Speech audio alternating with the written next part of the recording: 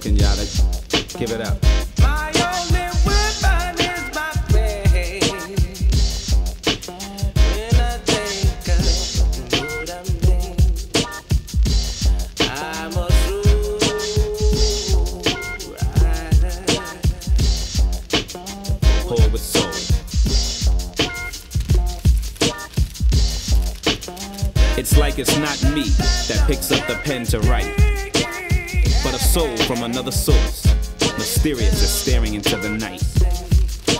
What's being written, I could never mastermind and be the brain behind a plan to restore light and give new eyes to the blind. I could never fill the shoes of any griot or poet around. No, not me. I'm not that profound. I'm just a brother with skin and bone, dominant genes and chromosomes. They're all that I'm not and more than I'll ever become. Not realizing what's being done. Cause after the paragraph comes to an end and the thoughts come to be, I realize the poet and the griot both are me.